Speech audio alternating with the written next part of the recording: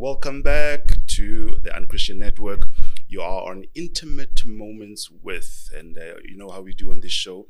We bring you nothing but the best minds and brains and people who are doing impactful and wonderful things in different fields and sectors. And we get to get to know them a bit and we get to know why they do why they do that. And today is no different.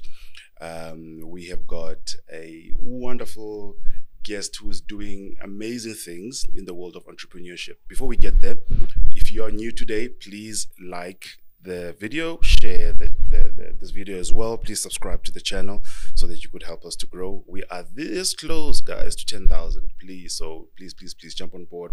Don't just watch, subscribe.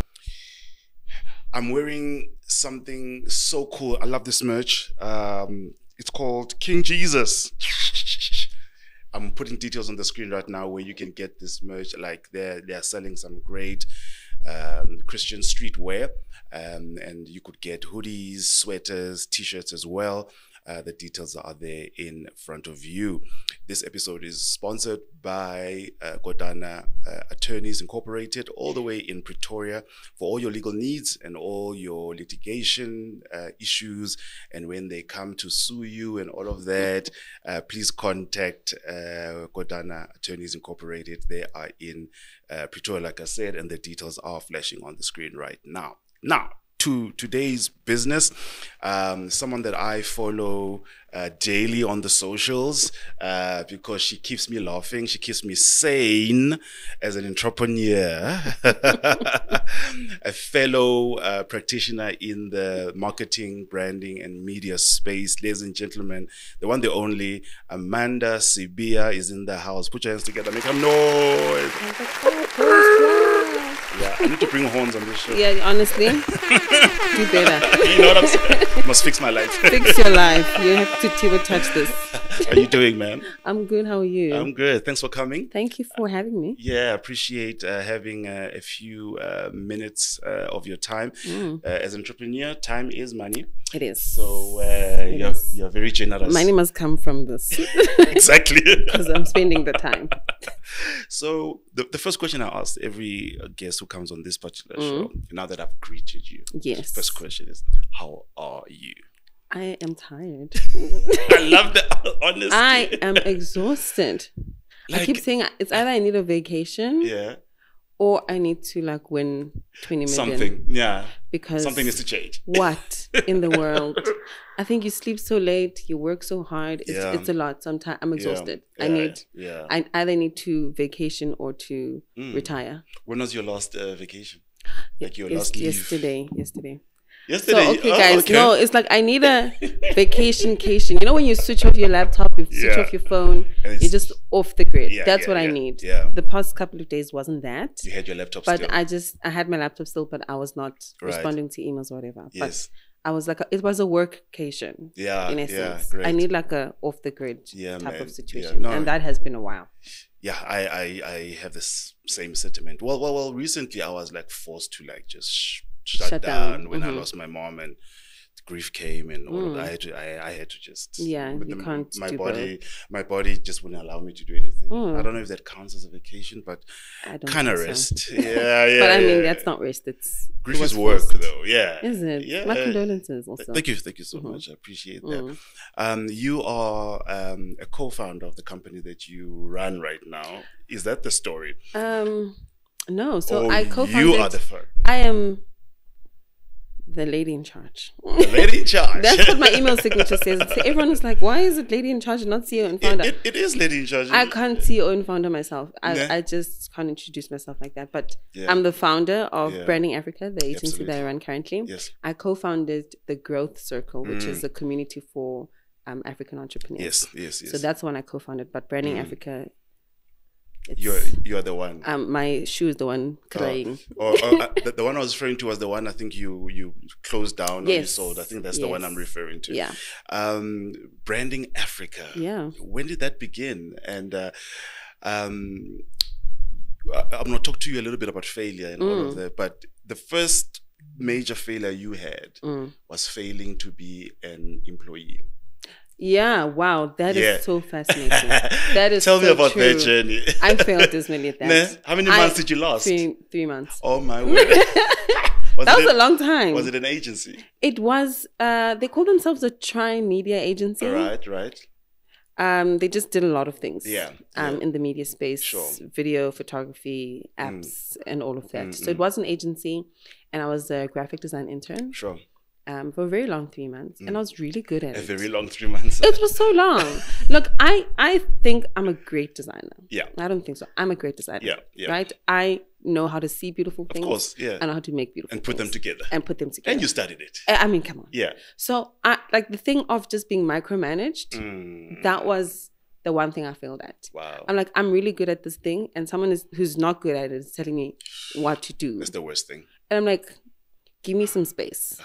Listen, um, I, I worked for an agency, Mm. and I sometimes I would have my boss standing right behind me, pointing at the screen, touching it, move this, do that. I'm like, Mjani. and then at the end of, end of the day, she's like, your designs. They don't look like you know your other work. I'm like, yeah, it's not my work. It's your work. Yes. Oh, wow. Yeah, no, it's ridiculous. Right. And I think all creatives have that trouble. Yeah. When you want to dictate how Mm. they express their creativity on paper or on a computer or on a design, Mm, it gets frustrating. it does. and it stifles your creativity a lot. Mm. So I think I hated it as an employee, but I also Mm. hated it as a creative. Yes. Because as a creative, you want to be able to express yourself Sure. freely Yeah. in the form or the media that you that you chose. Sure. But I couldn't do that. Yeah. Or rather it was being directed in what direction it should go. Mm, mm. And I absolutely failed at being Mm. failed myself at being a creative at the time, Yeah. but also failed as an employee. Absolutely. I get you. But uh, let's admit that uh, the problem is us, not them. No, no, no. It's I mean they got their problems. they do. They do. but the- we are also we the problem. We're also the simply drama. because we are at heart and by design Yeah. entrepreneurs. Yes. And entrepreneurs can't fit in all the time into No. boxes.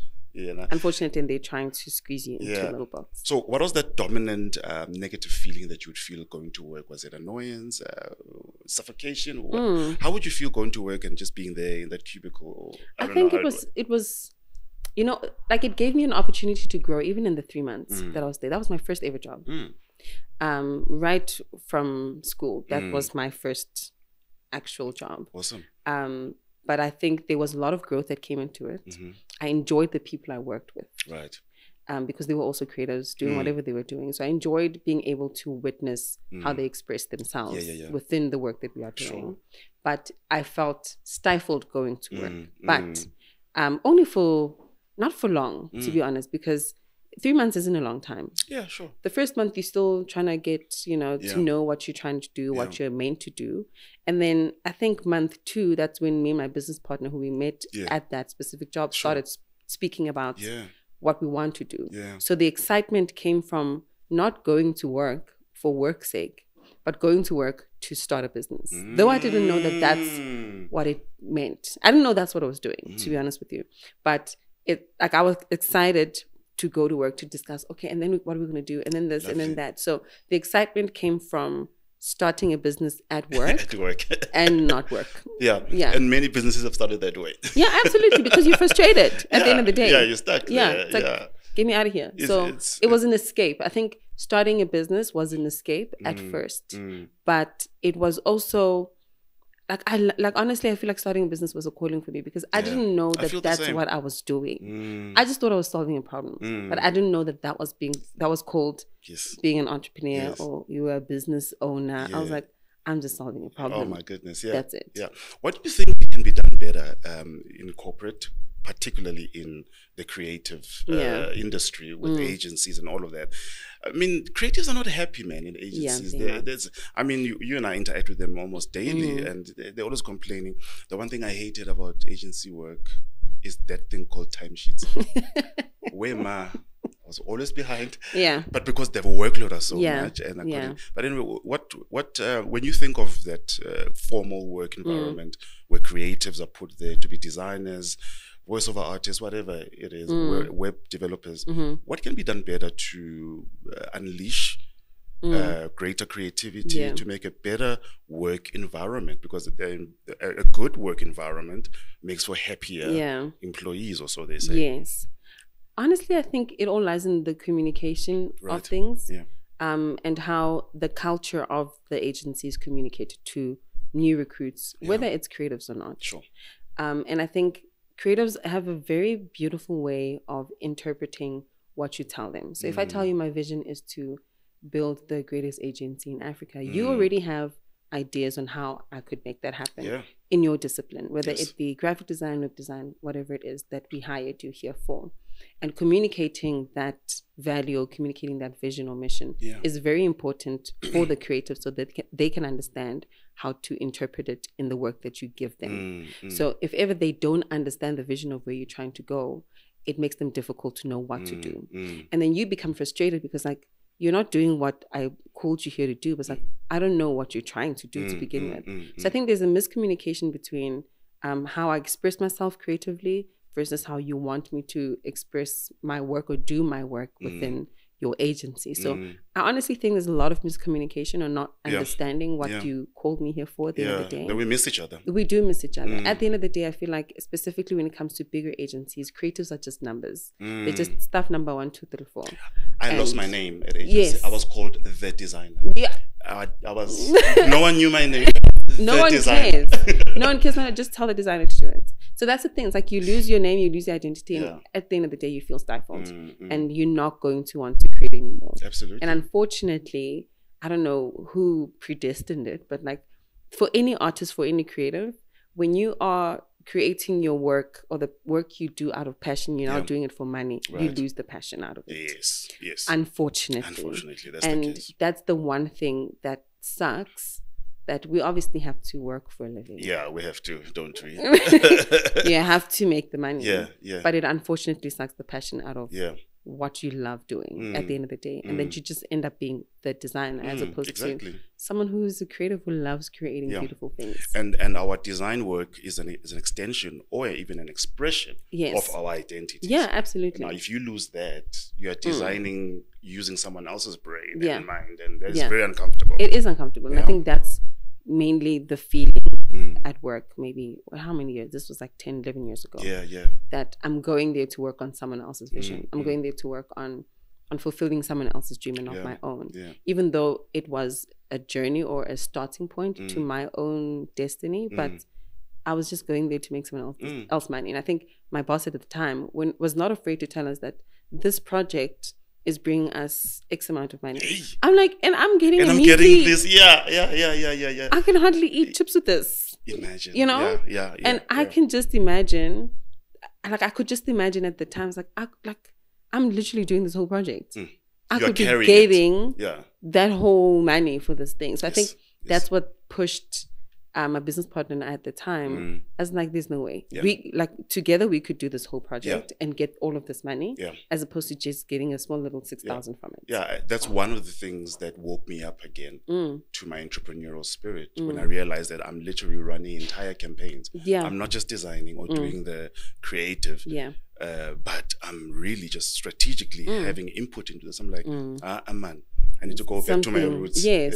Yes. When it, it, entrepreneurship, did you discover it or did you decide it? This is I'm gonna do this because Mm. because all of us, you hit a point where you discover, as in, I'm I'm made for entrepreneurship. Mm. Uh, was it this experience that made you Mm. discover it, or you just said, as in, yeah, decide that this is what I'm going to do now? It called me. Oh yeah, I, I didn't know what entrepreneurship was. yeah, I knew what being a hustler was. yeah, yeah. I knew what um, making a plan is. Mm. And my mom is very industrial. Like Mm. she's industrious. Like Beautiful. she will sell things from the boot. Um, so I grew up with a mother who Mm. would sell pajamas to Mhm, like mhm. anything from Yeah. the boot of her car Yeah. at church. yeah, To me, that wasn't. I, I didn't know that was called being a businesswoman or an entrepreneur. You're just selling things. You're Mm. hustling. You're Mm. trying to make ends meet.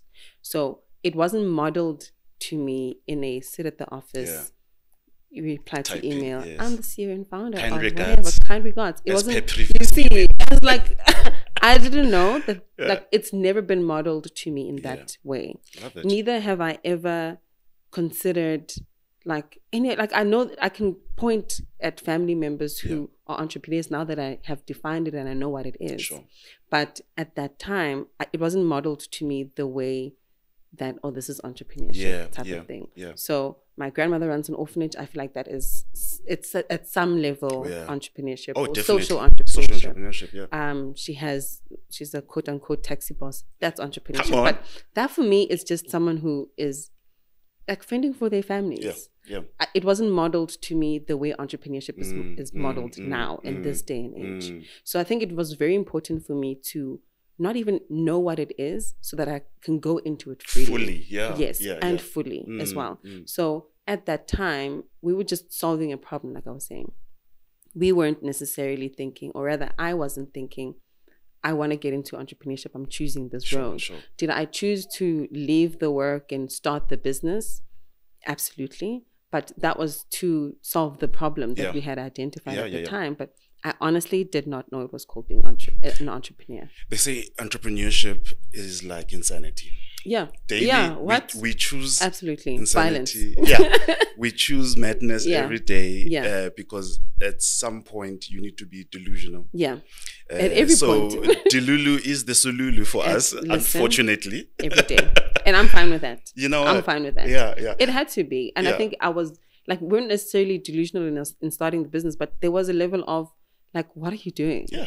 And obviously people will ask you because at that point, the the next thing to do was like find another job or get a better paying job. Mm, mm. But that's, I was like, no, I'm great at this. I'm going to make 60,000 Rand a month. yeah. Did I? No. But the journey continues. the journey The journey continues, nonetheless. Yes. So delusion is absolutely a when, solution. when I think of a nine to five, something happens to my body. I You just, start- I just like, "Hi, yeah, yeah, yeah." yeah, break into hives. yeah. Yeah. Um, you you spoke about the little background in the family where you saw entrepreneurship modeled Yeah. to you. Yeah. Um, many people know you as the entrepreneur, the marketer, Yeah. the branding girl, Mm. and all of that. And we'll, we'll get to expanding a bit on your mind on branding Mhm. a bit. But you are also a PK. That's the other thing we have in common. Daughter of Bishop Oh, Bishop Sibiya. listen, you know, people need to know. yeah. Um, your sister, I met Yeah. your sister some months ago. Mm, Um, she's she's a, she's a pastor. Yeah. She's a prophet. absolutely. Don't you have another sister or a sibling who's also into ministry? Um, so we're five at home. I'm number Yes, three. yes, yes. Um, Middle child, The middle child. uh, my sister is a Victoria. prophet, Yes. Victoria. Um, two, both of my brothers are both pastors. Right. The other sister is 14, so Oh. I guess she's a pastor in the making. Yes, in the making.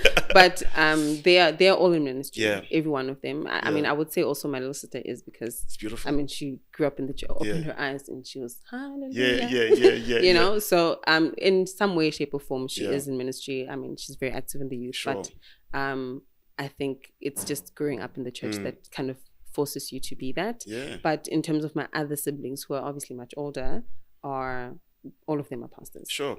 Um, how did the household, yeah, Bishop Sibiya look like uh, at age eight, nine? Um, you're growing up as a PK, five siblings, church is part of your everyday. It, it was it was chaotic. Yeah. Um, it was chaotic.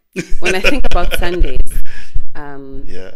the the earliest memories that I have of Sundays is obviously very chaotic. Everyone has their po- not position, but like they have their role Yeah. within the church. Were you all cooking before church? Yes. Right. So we wake up at like six o'clock in the morning. Yeah. It's my mom and my sister. We're cooking Right. while the brothers are headed to church to prepare Mm, sound Yes, yes, yes. and all of that. And by like seven o'clock, everyone has to get showered so that when church starts at eight thirty, like- everyone is like positioned properly. I think somehow we had the same dad, the same parents, really. We- Because I- listen, exactly, this is my household Yeah. right there. Dad is literally everyone is, does what they do. Mm. I'm on stage. My sister was on stage at some point until she wasn't. One of my brothers is a, is the actual drummer. Yeah, yeah. It, it was a lot, you know. Yes. Everything is within, and you know, you're the first to Mm. arrive, the last to leave. Yes, yes, yes. But you, I don't know, you you grow up to really appreciate the people you grow up with because Absolutely. I think you get such great skills Mm. under like underrated skills Mm, when you grew mm, up in the mm, church. mm. And I think one of them is definitely public speaking. Yes. You will listen. You will you will not be nervous Mm. to speak in public if you grew up in Yes, the church. absolutely. And I think my vocational skills come from the church setting. Speaking to people, being like you're having a high EQ Mhm. comes from Mm, being able to interact with different characters, mm, mm. new, old, young, old as well. You interact with so many different people that it really does help you in even in the business world Mm. Yes. as opposed to it just Yes. being in the church. Mm. So there are certain skills that come from a church that are so important Mm. um, at a later stage in Mm, life. And I think mm. you realize it later, Mm. um, but the household was chaotic on a Sunday morning. Um, for me, media found me in church. I mean, You this, know, yeah. my earliest memories was uh, duplicating cassette tapes Wow. of sermons from my that dad. was a his long time sermons. ago. Yeah, yeah, yeah. this was, I think it was 1997 when I really started, 96, 97, 98. Sure. My dad had conferences all over the place called Believers Conventions. Mm, And so um, every time there was preaching, of course, Mm. cassette tapes. mm. And I was there. I was the guy. At very young age, and I loved it. That is so fascinating. loved fascinating. it. And you put a sticker on it, and then we write the title of the message and Not a the cassette. speaker cassette. Later on, I then developed out, out of just curiosity Mm. into CDs. And the, the, the, the, the first ministry that I would say um, like groomed me in ministry and all of Mm. that was when I got to Bloemfontein to study tertiary. hmm Um, and then I joined this church I i- introduced CDs now. Got it. It was the first for me as Mm. well. They thought, ah, this guy's coming with new, but I, I was like, I'm just starting this as Mm. well. And um, it developed into like now I'm running an agency from From that. that, See, so I, I relate what you're saying. it's a Yeah, good seed. yeah, very, very. Good seed. Um, many PKs uh, um, st- testify of traumas mm, from being a PK. mm. Um, is that your testimony as well? To, to a Yeah. certain extent? to a certain so i didn't um to give context i didn't grow up from a very young age from infant age as a pk Sure. Um so my mom married bishop Sibiya in 2010 Mm, um so it was a blended family get you. so my brothers come from my father's side and me and my sister victoria are from my mother's side Mm. and a young child from from the Get you. marriage Get you. um so five of us are a blended family Mm, so my experience of being a PK came in later in my life, though I did grow up in the church nonetheless. mm, mm. So um, obviously, if you have a praying grandmother, you know Ah, no, listen. You're not chance- like you. You want to sleep on a Sunday? Excuse me. and groove is a no no. no. Um. So I grew up in that context Yeah. in terms of um family. Right. Um. And my mother as well. Church on a Sunday was obviously something Awesome. that we did nonetheless. Mm, Um, so getting into being a PK was interesting because I knew it from an audience Yes. point of view. yes. Um, I knew a lot of PKs Mm. from the fact that I go to church, so I know, oh, that's the pastor's kid, that's Yes. the bishop's kid, Yes. whatever, whatever. Yes. Yes. So I knew it from the outside eye looking in. Mm, mm, So it became very fascinating to now be on the inside. mm. Um, as like, was this what goes on? Yeah. Now it's now it's you now. It's like, oh my gosh, guys, wake up at six Yes. to go to church is crazy. So it became a very change, Right. um, like a changed environment for me. right. Uh, though it was not foreign to get into Yes. because I grew up in the church nonetheless. Yes. Yes. Yes. yes. Um, so in terms of traumas, I think your life really does change when church becomes or leads your life. Church Mm. becomes the number one thing that you do Mm. in your life. yeah. Yeah. Yeah. So when it comes to traumas, I would say that there are certain things that you learn about yourself Mm, that when you get and when you when you grow up, you kind of recognize that I don't think I want to be this part of Sure. the church anymore. Sure. I don't want to be this person anymore. Sure. And I think personally for me, it's been quite a journey Mm, because you go into it, I think, at a young age. Um, it becomes something that you do because your mom says, yes. I'm young, I can't have a choice. Yes. Yeah. But the minute you have a choice, it becomes very important for you to make the right choice for yourself. yeah. Yeah. Um, not that you're gonna go there and, and not love Jesus Yeah. Yeah. Yeah. Yeah. But actually deciding whether you want you Jesus was an inheritance or a Mm, choice. mm, So I mm, think my decision came when I went to study in Durban Right. for Jesus to become a choice Yes. for me Yes. Your and own. not my own choice, not Mm. because Yeah, you know, yeah. I'm not I'm not it's not an inheritance that you Yeah. get because your parents believe and now you exactly, believe. Exactly. So it became very important for me to choose Jesus for myself and to choose to serve for myself as well. Mm, mm, Even the choice to um, leave or change churches, it Mm. becomes a decision for me mm, mm, as well. So I wouldn't say they are um, traumas per se, but there's been challenges that forced you to choose whether you want to Mm. do it for yourself or for mm, them. Yes. Yes. So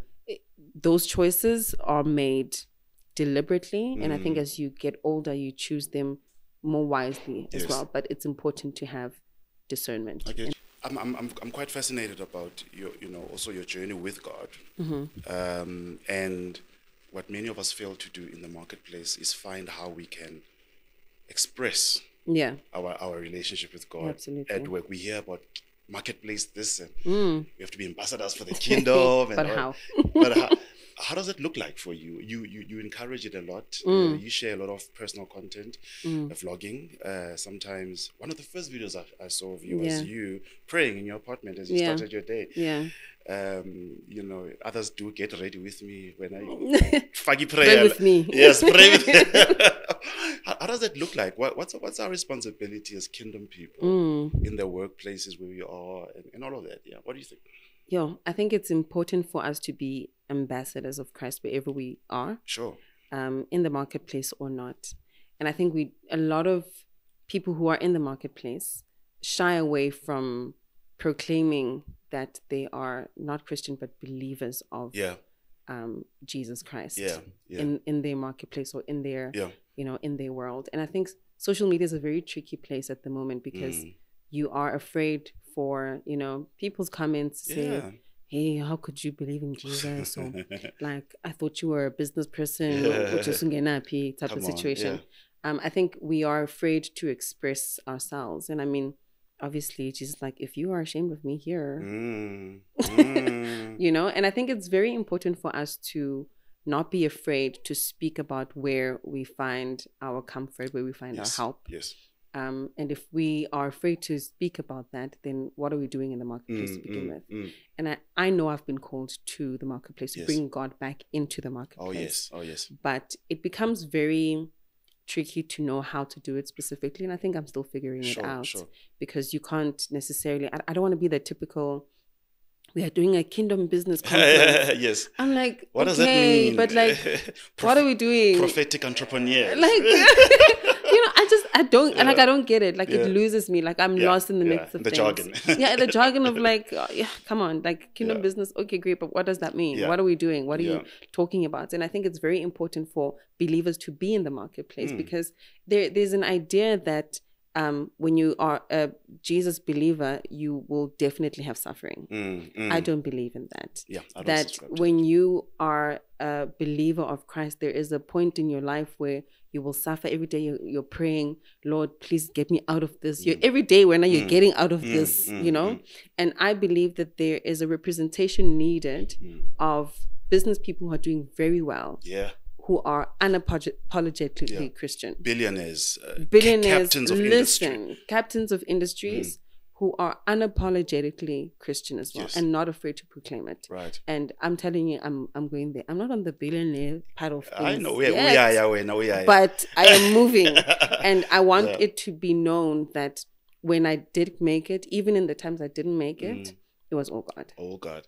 it was all God. And I think even if I may not necessarily in the forefront conduct my business Mm. uh, as like I'm a Christian entrepreneur, it's like no, I Mm. will only. There are certain values within my business that are absolutely Christian values. Yeah, yeah. Absolutely, there are people who I will not do business with Right. because of my values as a Christian Sure, woman sure, and sure. as a Christian entrepreneur. Yeah. But it will. It, I don't want you to not do business with me or to do business with me just because I'm a Christian entrepreneur. or Not. Yeah. I can do the work Yeah. whether you like it or not. My work is good. And Yeah. my work is not good only because I'm a Christian entrepreneur. Yeah. My work is good because my work is good. Mm, mm. And I want when people t- to see like the success within my business to for me not to say, "Oh, I made it, hey. I made it Mm, by myself Mm, mm. with no co-founder, with Yeah, no yes. funding. No, I made it because of Of, Jesus. of Jesus. Full stop. That's amen. it. Amen. Yeah. Um, what uh, tough decision uh, confronted you once Mm, that clashed with your your your Christian values,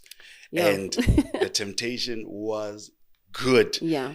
and the and the serpent was like, "Here's an apple. Here's the fruit. You want it? Looks shiny. Did God really say that you you you know? Yeah, Do you you, know- remember like one instance you could share Mm, with us? there's there's a lot, and I think there was one in particular. There was a project that we were working on, and this is a couple of years ago, Sure. and the money looked great. Yeah. And did I need the money at then? Of I course. absolutely We always do. always needed the money. Yeah. Um, and the person who was offering this project Mm, um, knew that we were very capable of doing the project as an mm. agency. Um, we had the capacity, we had the resources to make sure that this project can mm, be done. Mm. But it's like, oh well, but in order to kind of get this project because it's a sizable amount, there are certain things that you have to do. Man. Um, and I think it's it's tricky being a female Yeah. entrepreneur Yes. and also being a young female, yes. you know, gorgeous looking. Yeah. It's like it's it's tricky, and there's certain things that you might not get because you say no to certain advances. Um, and I think discipline comes in knowing what to say yes to, knowing what to Mm. say no to. Yeah. And there are good things that you could say no to, Yeah. and you'd feel like, oh, but come on, Amanda, all he wants Sure. was a dinner date. I'm like, no, and dinner date, no, it what? was not going to end there. it was not going to end there. It was going to be so many yeah, more. Yeah. So it you have to say no to certain things, even though I mean there, there was a temptation of it because of the reward. Of course. Yeah. Though the the whatever he wanted me to do for the reward Mm, for me was like a mm, mm. instant no. It's like ah, keep your money. No. But no. again, it wasn't a. I think the the difficulty was the fact that it wasn't only my decision to Mm, make. mm, mm. Uh, a lot of people were being impacted by the benefit of what this project would do Yeah. for our reputation as an agency, but also the money in it. Yeah. So the no for me was not just a no for me. Yeah. It was a no. I'm I'm like literally taking like you know food out of your mouth. Sure. Like I'm sorry guys, Yeah. we're gonna have to say no to this Yeah. project because Yeah. we're gonna have to say no. You no. cannot sacrifice yourself like that. You cannot. Absolutely. Um, and I'm, there are many instances. I remember there Mm. was uh, another project, another client that I had who had very separate beliefs, uh, Mm. belief system to mine. Mm, Um, and they wanted me to work on their brand, and they were more of like a traditional heel and whatnot. But I'm like, it's a good project, and I can help you do this. But Mm. unfortunately, because we don't have the same belief system, Mm. I cannot help you. Right. Right. So I will recommend you to someone else, Mm. but it's just not going to be me. yeah. Yeah. Uh, so I think there's a lot. God's blessed me with with like this conviction of being able to say yes or no to Right, certain things that right. I want or do not want. Yeah. Um, but also being able to discern when to say yes or Mm, no mm, is very important within Mm. the business context. right. Um, but also for your personal journey with God as well. Yeah, So yeah. Being able to discern when to say yes or no, but not only the discernment, but also the action of saying yes or no is very important. yes, so yes. there's been a lot of carrots dangled Mm, in mm. front of me, but I just thank God that I've had the conviction to say no. So say I give you a call, right? One day I Mhm. said, Amanda, I need your advice. hmm I'm holding this event Mm. And I've just been uh, approached by an alcohol brand. Yeah. They want to sponsor. They're giving me My a gosh. good check. My gosh. Amanda, advise me, my sister in Christ. What would you say to Ndumiso the entrepreneur at- at that moment? Yeah, but if if they're if they're saying no, we'll bring Savanna zero zero. It doesn't have no, this one in, in a percentage. Hey, hey, hey, hey, hey. Gooby gooby gooby. Yeah. I mean, uh, for the sake of the believer, I would say no. Yeah, man. Um, because unfortunately, you're not you're not doing things just for yourself, Yeah. but also for whoever's looking at you. Yeah. And if ever someone knows that no, this guy is very much a Mm. Christian pastor, yeah. like if he's now being endorsed by an alcoholic brand, what is he doing? So there is a necessity for that kind of conviction to say no to things, knowing that God will bring bigger things Yeah. at the end of the day. Yeah. And it's like fine to say no. Absolutely. Although, you know, would be nice. It would be to- nice. And I mean, I guess like alcoholic endorsements are, are great because Yeah. they come with a lot of money at the end of the day. of But unfortunately, they also come with a certain level of yeah, reputation. that association. Yeah, that association It's is too very, expensive. it's yeah. too expensive. Yeah. You're so right. So that Yeah. association is definitely expensive yeah. for you to just sell yourself for you, money you. at the end of the day. Yeah. When I hear the name of your business, Branding Africa, Yeah. it's it's more than just a company name, Yeah. A label. I Mm. hear a declaration. Yes. I hear territories. I Yeah. hear I hear global. I hear international. Mm, right. Absolutely. Um, um, what, what's your vision there? Um, but also, I want that to lead into the other question that uh, people don't understand what branding is. yeah. They mix it up with all kinds of things. Always. So when you say branding Africa, Mm. what I, I know vision evolves. Yes. What's in your heart um, about that? Because Mm. I, I also feel it, it's like an assignment of sorts. Uh, it is. Yeah. Um, and our our domain, like our website, is We Are Branding Africa. Oh wow, It's that's who we are and that's what we do. that's more powerful. so like when you get onto it, it's like oh, we, Yeah. that's literally the first thing that you see. Amazing. Yeah. Um, we are branding Africa as a company, but as a vision, we are branding Africa Mm, as mm, well. mm. And I think there's it's it's so important for me to tell Africa's story from Mm. an African point of view. Amazing. Um, and I think I'm I don't know God's called me for this continent. Mm. Everything that I do it has Mm. got an Africa in it. Good. Um, and that's really something that I absolutely love doing. Sure. I, I love this continent, but my vision specifically when it comes to branding Africa is to kind of have an Africa where we are building our own futures Yeah. and we are not depending on anyone else's Mm. resources or anyone else's help Yeah. to make things happen for Yeah. ourselves. Yeah. And I believe that unemployment really is, I mean, rife in our country specifically, but in Africa as a whole. But As I a think whole. We are such a resilient people that we will solve our own problems. Mm, mm. And I mean, in Africa as a whole, the working age population here who are starting businesses is at an all time high at 22%, and that's mm. the highest in the globe. Mm. It shows you that Africans have an appetite for entrepreneurship. Yes. Yes. They might not know how to articulate it in Mm. that way, but we have such a huge appetite Right. for entrepreneurship, but we don't have the capabilities all the Mm. time. I was about to to ask what's what's the what's the missing ingredient? Why aren't we seeing this Yeah. this growth? Uh, And I mean, I think it, it is seen, it's definitely there, but we underestimate small growth. mm, We underestimate umam, whoever who's Mm. selling, you know, tomatoes at Yeah. the side of the yeah. road. Yeah. And we don't consider them business people, Mm, but mm. they are. Oh. We don't consider them entrepreneurs. So I think we overlook the scale of entrepreneurship within our continent, within our country Yeah. as well. And I think it's important to rebrand the thought of it or Ooh, to rebrand Right. Right. our perception of Africa. Yeah. Yeah. And there's this quote that I love by George Kimble. It says, The darkest thing about Africa is our ignorance of it. Mm, and mm, for mm, me, that is literally what I want to do. mm, Is we need to tell Africa's story from an African point of view, Sure. but also rebrand the story for Mm, that, mm. so that we don't overlook um, the smaller businesses. Sure. And that's why I always say slow growth is still growth. We Mm. underestimate the smallest little move from point A to point um, A point B. Mm, you know, we mm. really underestimate those smaller Sure. things. Yeah. And I think entrepreneurship on the continental scale is that there's so many entrepreneurs and like others are undocumented because they are maybe in the rural area. Mm. They maybe there's Uba Sibi or someone Mm, who mm. has a taxi that takes you from the rural Mm. areas to town. He's an entrepreneur. Yeah. But work. just because he's not necessarily thought of um, the future of his business in two, three, five years' time, um, there's a certain level of that business ending with him.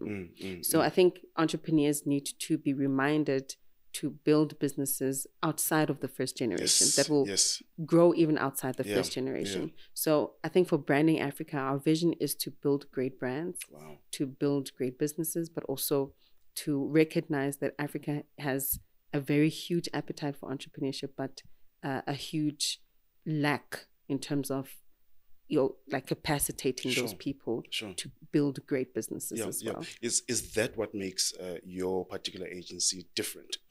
is that your uniqueness, the African touch, the African Yes. vision? Yes. I love it. Yes. So we don't work with global clients at Yeah. all. So if um uh, we've had Oh, is that a policy? yeah, that's pos- policy. Wow, I didn't know this. you turning down dollars and pounds? Absolutely. Oh my word! Absolutely. So we do Throw have, them this way, ne? Yeah, don't worry.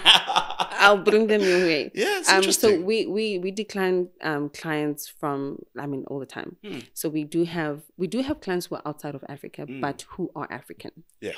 So we work currently. There's this um, client who is in Australia. She is originally from Zimbabwe, Right. but her business is based in Australia. Everything that she's doing is in Mm, Australia. mm. We work with her because she is an African founder. Yes, yes. So everyone who is from Africa of African descent, those will be our clients. Hmm. Um, America has their own strategists. Mm. Am- America has their own branding agencies. They don't need Yeah. to take anything else from us anymore. Yeah, yeah, yeah. So it's a policy that we don't work with global Mm, clients. mm, mm. Um, but there are ways in which we can like partner with global cli- clients, but to benefit Africa yeah.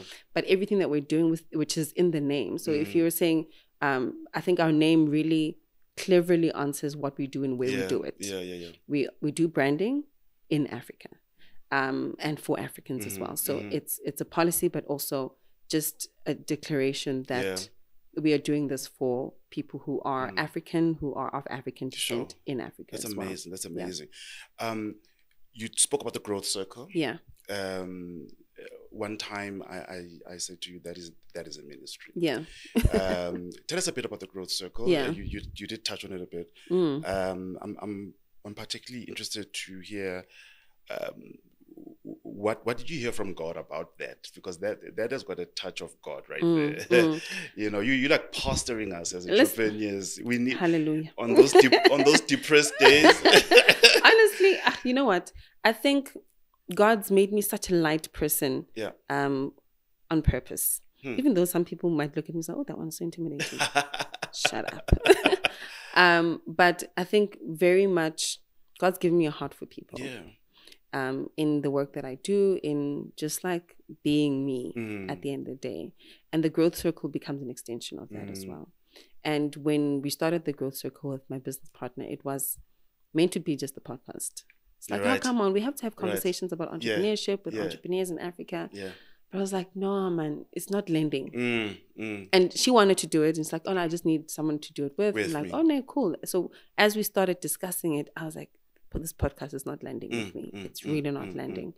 Um, and I was like, there's really more to a community than just conversation. Of course. Of course. Conversation is, is an important part of community, Mm, but it's mm. not the only thing. Mm. And I think there's so many conversations that happen um, around the entrepreneurial space, but there's there's still this rigidness about it. Sure. There's no be free. Let's be friends. You Mm, know, let's mm, mm. come on, help me out. Yeah, man. Like, don't worry, I've got someone Yeah. a client. Let me throw them to you. Let me. we, we act very bossy around each other, very it's CEO-y around each other. And then we are all going through the same stuff. We are, we are, and we're afraid to say it. We're Mm. just trying to be CEO and founder all the you? time. Yeah. And I'm like, can you be a person at the end of the day? Exactly. You know? So I think the growth circle is really meant to demystify entrepreneurship. It's Mm. meant to be a community of Right. friends who Yes. are entrepreneurs Yes. who are not afraid to share ideas, Yes. share solutions, um, and share resources at the Mm, end of the day mm, and mm. be able to have conversations. Because Sure. I think as when everyone introduces them as CEO and founder, you automatically think that they all have it figured out. Yeah, yeah. They all know what a balance sheet looks like. no, They all know. And I'm like, that's not true. we don't know. When I started and someone said you need to have financial statements, I'm like, what are those? yeah, yeah, you know? yeah, yeah. Um, there's so many things that I didn't know when I started, sure. and we take for granted that, I- that there are people starting today Yes. who don't know what that is, who don't know the bare minimum of starting off the Ish, man, documents it's that you hard, need, Yeah. compliance wise, what you need to get a tender if you want to be a Mm. tenderpreneur. Like it really, there's a lot we don't know, Mm.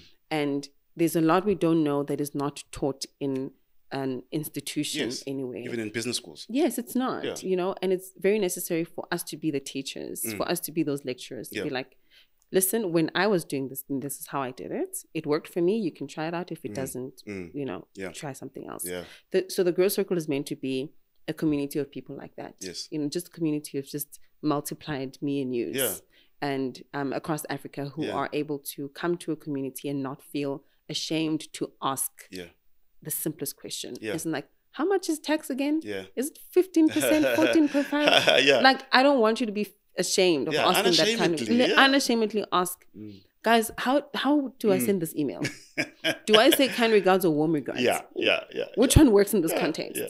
And there- there's no stupid question. Oh, yeah. There shouldn't be a stupid question. So that's what the growth circle is meant to Love be. it. Love it. Um, that's how it's meant to evolve. Um, but honestly, I think I yeah I bit off too much that I can chew at this point. I mean, it's, it's a lot. I think as Yeah. as business owners, we always have great ideas, Yes. and yes. sometimes you don't have the brain capacity, Yeah. energy capacity, resource capacity to make it happen. But Yeah. it doesn't diminish the idea. But that ministry or that um, business is something that I'm quite passionate about because Yeah, I'm passionate for that. passionate about entrepreneurs in Mm. Africa just being Yeah. you and, know. and their wellness, our, our Yeah. well being as, as entrepreneurs as well. it's so important. Um, business school does not teach you no.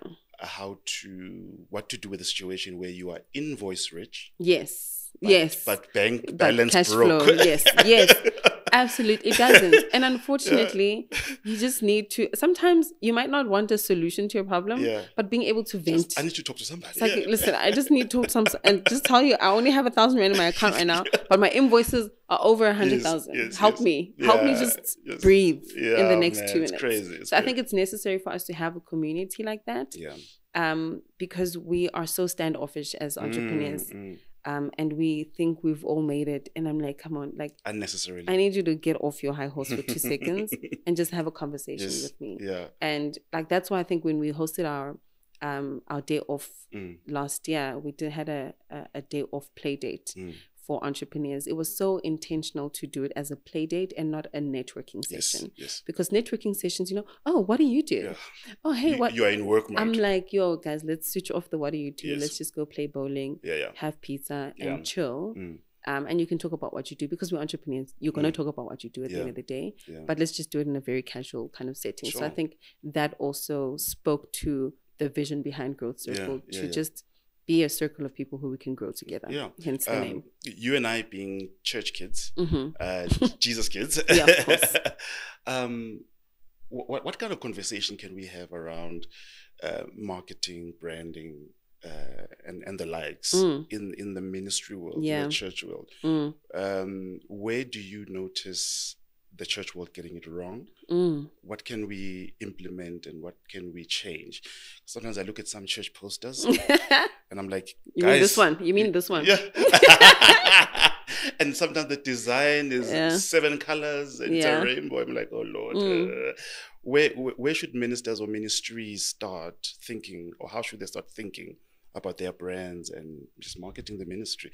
It's evangelism, yes, in Mm. spiritual terms, but it is Mm. marketing. Mm. Yeah. I think for the church, we need to lead when it comes to branding and marketing, Yeah. not follow. Hmm. Um, I think when it comes to, I mean, obviously different churches do things differently. Yes, there are yes, yes. others who are like super modern in, you know, their approach to design marketing, and others that are very traditional in the sense of 17 colors in one Yeah. poster type of situation. Yeah. And I think they're they're they are both on opposite ends. Mm. And I think for the church who's more on the modern side, we need to stop wanting to look like the world in order to get them, Ooh. um, which I think is happening a lot, Yes, at a very high rate. too much. Yes. Um, on the other side, we need to not be afraid Yeah. to embrace change Yes. um, in order to not look like the world, but Mm. To evolve Mm, with the mm. world. I think we struggle to find the line though. Yes. Yes. Like, where's the line? There's a line that we're struggling to get to. The Mm. other's like, no, we can't. Mm. We're not moving. We're still going to use a cassette. exactly. and it's like, no, come on, no, let's just use everything. yeah. Listen, I'll use ChatGPT to Yes. put together my se- yes, sermon. yes, yes. It's like, can we? We need to find Yeah. a, a balance between the two because right. others are embracing it a bit too, not embracing it too much, but like we're Mm. trying to look too much like the world in order to attract the world. Yes, yes, yes. And I know that there is a certain call to bring to Jesus people who do not know Him, but Mm, that doesn't mean you should look like the world in order mm, to do mm, that. Exactly. On the other end, I think we are too stuck in wanting to be so different Mm, or wanting to still do things very traditionally. Yeah. Um, and I think we forget that the word of God never changes. yes. Um, we may change as people. Mm, The church setting may change. Sure. Um, not even change, but evolve Yeah. because we, we're not in no, man, 1997 of course, anymore. Of course, yeah. And there's certain certain things that we have to embrace um, as the church in ministry, whether it be media, marketing, and Mm, branding. mm, There are certain things that we have to embrace in order to represent God well yes, with excellence. with excellence. Yes, yes. Um, and I think that's just what we need to do. It's Sure. like we need to look at what we're doing. Like, does this represent God well? Mm, mm, But also, does it communicate to the church well at the same time? So. I think there's it's it it may be a bit of a challenge depending on the Yeah. the leadership of that church and Sure. the kind of church it is. There are more traditional churches Mm. more Pentecostal ones. Yeah.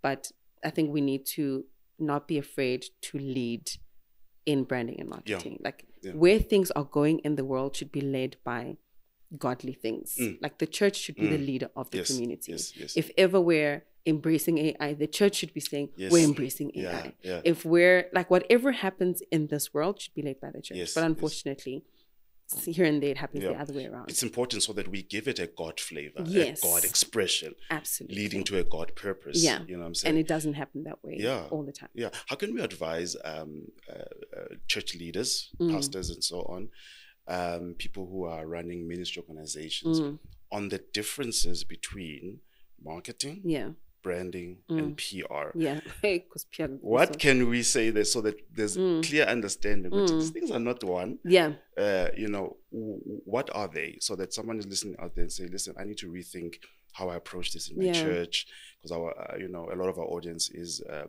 you know, uh, Christians, yeah yeah, and church people. So Mm. um, help us there to understand marketing, yeah brand, mm, and PR.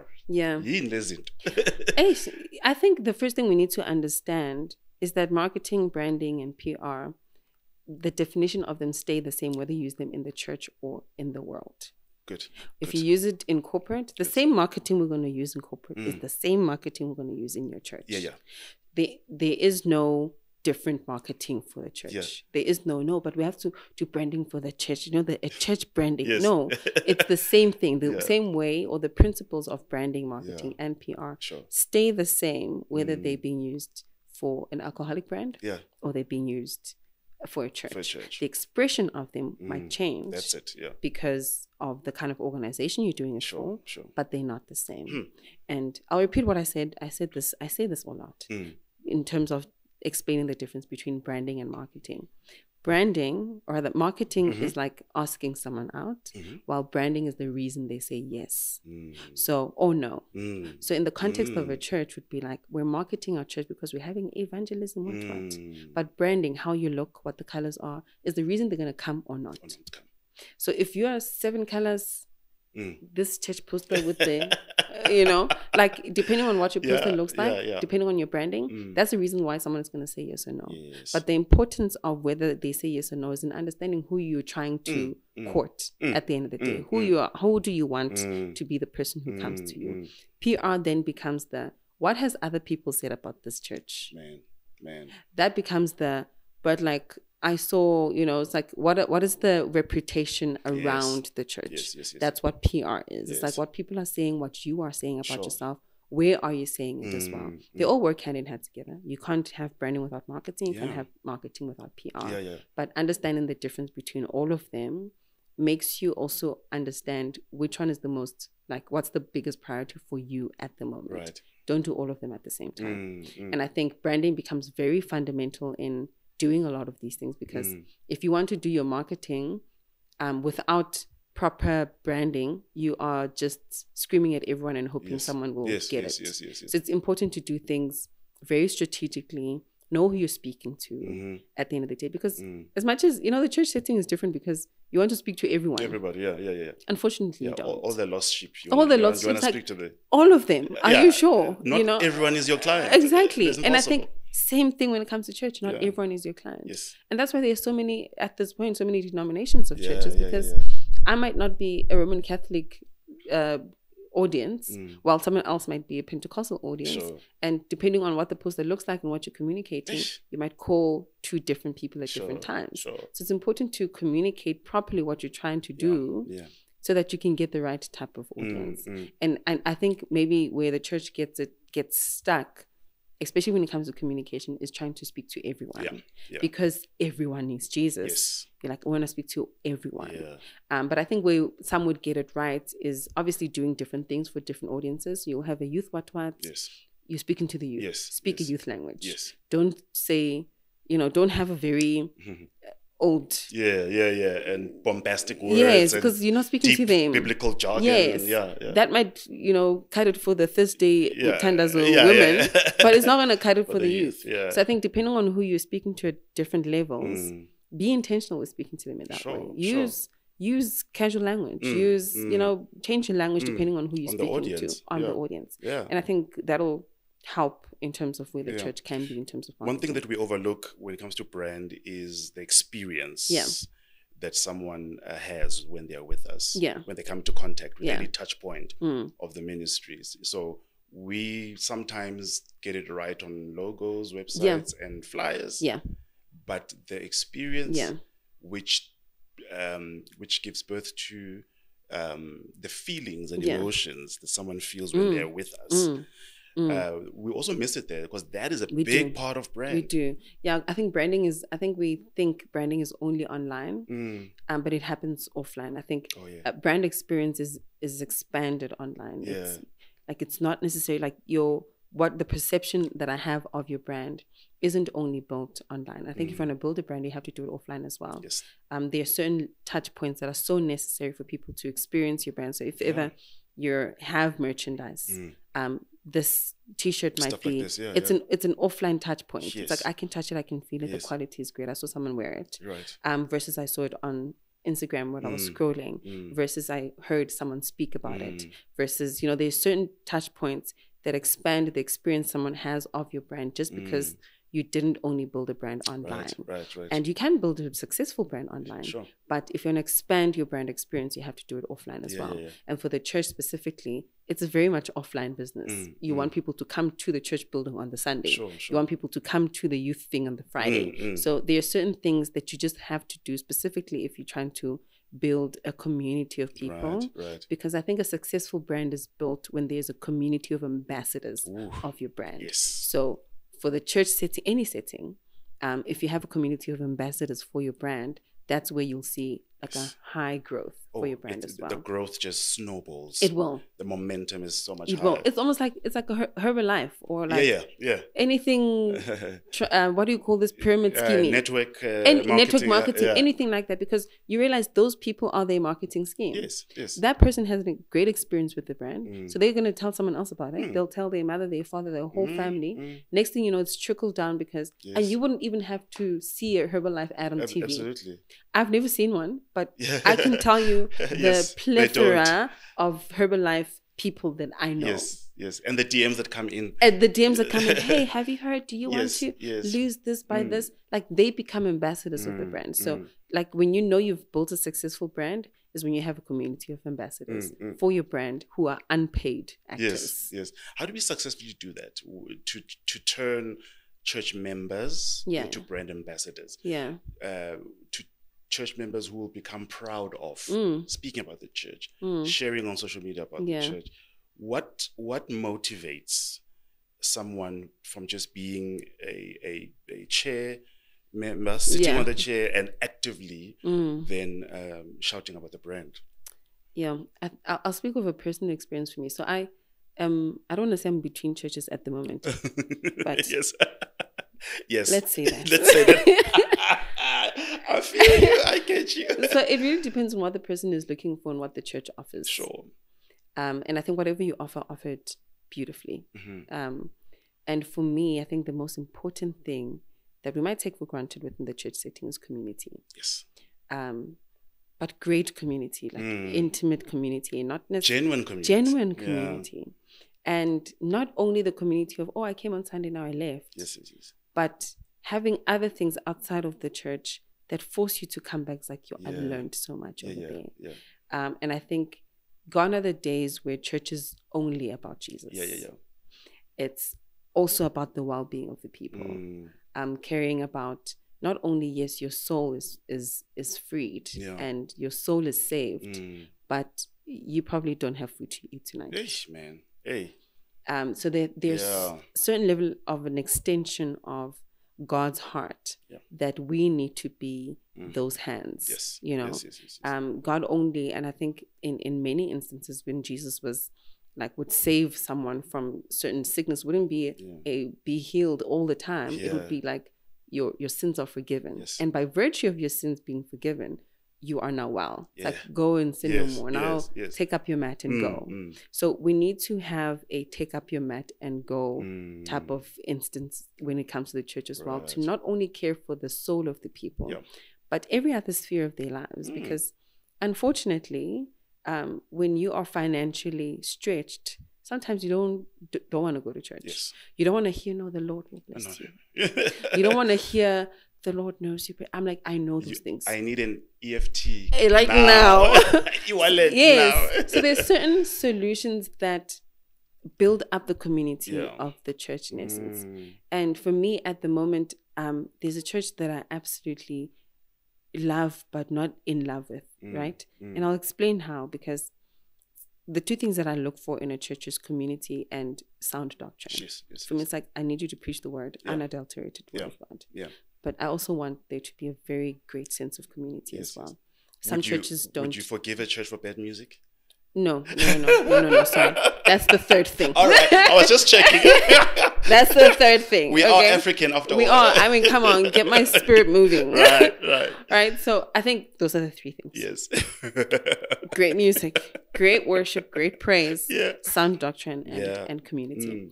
Mm, Um, and this church has great community. mm, Oh, beautiful Mm, community. mm. Listen, community wise, I'm with them every Wednesday Yeah. because they're such lovely people Mm. who are concerned for your well being. yes, we know you know Jesus and we're going to pray with you, but how are you doing? Mm, Okay, how's work going? mm, Um, and that sense of community, I'm, I'm being an ambassador for that church right Yes, now by saying they do community so well. Yeah.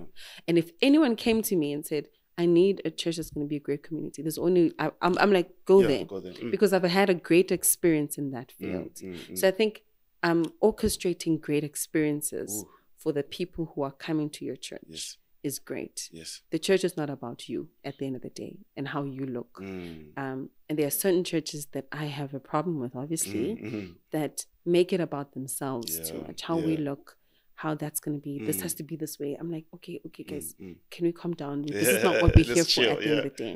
But if someone, um, in terms of audience, is very like on how they should look, like if me as an audience I care about how a church looks, Sure. then that's a church for you. Yes. It's really understanding your audience at the end of the day. But I think um, how churches can deliberately build that community is Right. just by being very like create orchestrate a good a good experience Yeah, yeah, yeah. for the people who are there Yeah. and not even just like an orchestration like you you're acting this out but Sure. let it genuinely come from what Sure. you're trying to Yeah, do yeah, yeah. at the end of the day so i think it's tricky but depending on the church you are Mm, mm. then and also what your priority is Yeah, yeah, yeah. but if community is a priority for you do it well Yeah. if fellowship is a priority for you do it well yes. if good music is the priority for you in it. do yeah, it yeah, well so i think whatever you're trying to put out do it well. I get you. I get you.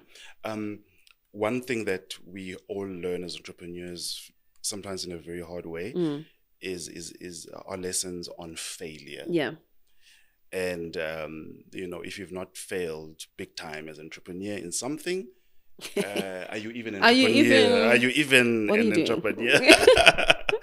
How do we fail successfully? You know, the Mm. mentality of failing successfully. Sometimes we th- we think we are comfortable with winning. I think we Mm. all know how to win. Maybe Yeah. some, maybe not, because that's also a science or whatever Mm. virtue. But failing successfully, and you've shared openly about an experience where you got sued Mm. in the seven digits, seven digits lawsuit came against you. that was you. fun i recommend that fully recommend and, and you use that word fun a lot. And Yeah. yeah. um, how should we see failure? And most most importantly, yeah bouncing back from it. Mm. Yeah. I mean, it comes with changing your relationship with failure. Mm. Because I think most of the time we see failure as something we can't come back from Yeah. or something that defines us at the end of the day. and I yes, yes, think yes.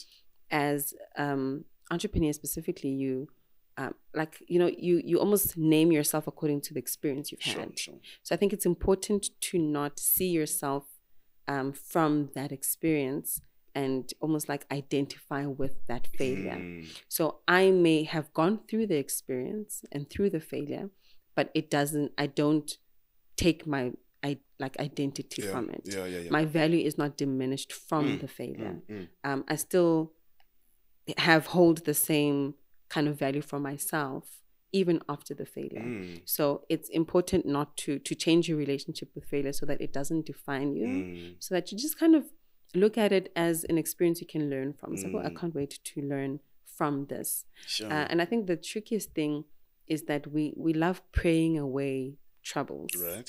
Lord, take this away. Yeah, yeah, yeah. You yes, know, yes. um, and it reminds me when um, I think the disciples, when Jesus was about to, Mm. you know, feed the five thousand, the Mm. five loaves and the two fish, it was Mm. the disciples saying, "No, send them away. Like we Mm. don't have food for them." And Jesus like, "No, No, you give them food. Yeah, you, you, you do, you do the it. job. You do the job. And I think we we tend to do it a lot. We tend to want to pray away Yeah. our our troubles Yes. a lot and don't realize that the multitude comes from the trouble. Yes, and those are defining moments, Absolutely, moments. they really are. So um, me being sued was really such a strengthening moment for me. But Mm. I honestly think God has shielded me so much from um, taking in too much sadness hmm or taking in like having something defined. me. Sure, sure. So for me, it's almost I felt like I really cruised through being sued. Really? I cruised through it. So I honestly I don't I can't explain to you Yeah. how. But you know, when you feel like you're just in this bubble and everything's happening around you, I know I'm being sued, but like, Yeah. okay. like, I, I don't know, but Yeah. it was really, I, I can't say it wasn't a difficult Of experience. course. Um, but it was such a new experience that I was so fascinated about Uh, being sued and going to court. and going to court. like, I want to look like Jessica Pearson on that day. So it was really just being so fascinated about this And, and also, you're so young. yes, like, like, wow. you know, like I was really so wide eyed. Like Mm. I was so like, oh my goodness. I honestly felt like a girl on a roller coaster for the first oh time word. Yeah. because you you don't know what to expect, and Mm. unfortunately, that's what entrepreneurship Yeah. is. Yeah. It's really just the roller coaster. You don't know when it's going to turn left, turn right. Mm. You're going to get off it either thinking, let's do that again, or I'm not doing that ever again. Yes. Yes. it's either of yes. the two, but there's a certain level of excitement when you get onto a roller coaster. Yeah, yeah. The fact that you did it. You did it, Yeah. you know, um, and you almost expect ups and downs, Mm. But you went on it nonetheless. Listen. And I think being sued was just one of those experiences. Mm, it's like, mm, I like I didn't know it was gonna happen, mm. but as it happened, there were just so many things unfolding one day after a time. I was like, oh, this happens. Mm, Oh, and then they do that. mm, mm, Like, there's a certain level of excitement that came with it, mm. though it was a very tough experience to have Yes, because yes. there's a lot of things that trickled down with me and my business partner at the time and the Mm, business as mm. well. It had impacted so much. My goodness. Um, and it was a big failure for Mm, me, mm. but it wasn't a failure so much to me that said, just go get a job Ish. and quit this thing because Uh, clearly uh-huh. you're not made for it. Yeah. All right. You didn't feel that hard. Yeah, you, You did I not know. feel that No, no, no. I didn't. Honestly, it's like, come on, You're still Yeah. alive? Yeah. Good. Good. It's good. Um, did you die? No. Great. Let's do this again. Let's do it again. so it was really, yeah. it was a really defining moment for me that made me choose. Because, like I was saying earlier, it's like Yeah. When I went to Durban, leaving home, I chose Mm. Jesus for myself. Yeah. When I got sued, yeah. I felt like I chose entrepreneurship for myself after that. Ooh. Because it's almost like those hard moments will define whether you're doing what you're doing because you want to or because you're just for, forced by Ah, that's, circumstances. that's, that's amazing. That's amazing. So I think that really, for me, was a defining moment Yeah. to say, okay, you got sued now. You still Yeah. want to do this entrepreneurship thing? or Let's see. I guess bored. maybe let's see how full time ministry looks like. You know? Didn't do that. So know, I think yeah. it was really a defining moment. And those failures, um, I think for everyone else, it's almost like just look at how you're going to Mm. be at the end of it. Will Yeah. you still do what you want to do or Mm, are you going to choose a different path? sure. So I think it really brings out a certain level of tenacity in Sure. you Sure. to see whether you are doing you're called for what you're doing Yes. Yes. or you just did it because of vibes No, no, I hear you. yeah We're out of time. Yeah. Um, this question, this conversation Mm. on this last point Mm. uh, brings up the mental health yeah discussion, Mm. which I mean is a battle for so Mm. many people and entrepreneurs Mm. a lot. I'm Yeah. sure you get a lot of messages, Mm. you know, people suffering in that area or struggling in that area. How do we stay afloat? What are some healthy practices that we can do? Mm. Of course, there's therapy, Mm. there's medication when needed. yes Uh, what else are what are we hiking? Are we jogging? Senza siyajima? Eish. Like senza siyameditata? Eish. Like first of all follow me on instagram you'll have a laugh yes. um but secondly i think ah, don't take life too seriously it's Yeah. probably it's, we, we're here it's a fleeting time we're here for a short time Yeah. make it a fun time but Mhm. um, I think what's important is really rest. Yeah. Um, for me, it's Yeah. become the most important for my mental health, specifically because, uh, like, I've been doing what I'm doing. I've been working for a long time. Yeah. Yeah. Um, and sometimes you feel so exhausted that you can't even work anymore. Sometimes it's important to shut down. And I know your your your business sometimes doesn't allow you to do Mm. it, but like rest is so important. Um, just having boundaries between personal time and work time. Yes. Um, not working after five, not Mm. working on weekends. I don't Mm. work on weekends when Okay. I when I can. yeah. Um, and I think last year when things were a bit easier, I decided to have a four day work week. I wouldn't work on Mm. Fridays at all. Mm. But that was intentional because I was tired. Mm. Um, and I, I was no good to my business when I was not good. Absolutely. So I think the most important thing, the best thing you can do for your mental health is to rest. Mm. What you do in the resting time is really up to you. Yeah. You can read a book, go hiking. Yeah. As long as jog. it's filling, you It must, should you must feel that it's like filling. don't exert yourself too much in the time of rest Yes. because sometimes you're resting but you're working Yeah. In something it's like okay now that i'm not doing my business work let me go Mhm. do other things. other work Yeah. no it's like rest completely Yeah. but do something that replenishes you and not necessarily something that forces you to exert Yo, yourself and sleep, guys. Yo, sleep. hey rest sleep Ah, sleep, guys. eight hours a day yeah. How can people get hold of uh, Branding Africa? Mm. And uh, who, who is your ideal client? Who do you want to con- to contact Yeah. you? Who, who can you help? Who are you best equipped to help? I'm best equipped to help African entrepreneurs want to build great brands. Amazing. Um, so if you know you want to build a great brand, I'm your girl. Yes, yes, yes. What's the website again? Uh, wearebrandingafrica.com. I love that. hey, guys, I need to re- I need to relook my domain. yeah, yeah. I mean, come on, it's part of branding at the end of the day. definitely, definitely. it's been an amazing chat, Amanda. Thank you for the It generosity. has. Thank you. Um, we need another catch up later sometime. Please, please make it. Yeah. and uh, we are looking out for what uh, the growth circle can bring as well. Um, and the next time we have a day off, whatever, we need a jumping Soon. castle. D- Don't listen. It's gonna be a costume party, so go get a Spider-Man Costume, come on, come on, come on. I'll, I'll be there. I'll be coming. Ladies and gentlemen, that was Amanda Sibiya, uh, entrepreneur, award-winning That's marketer and right. brand builder. Um, we brand Africa, branding Africa is the name of the Mm. business. Uh, check her out on the socials as well. Um, and uh, yeah, man, I know she can add so much value to your company, to your project, to your brand. She is a partner in building your brand. Thank you so much for being with us today. Uh, from me and Amanda, it's Toodles. Bye bye. Toodles.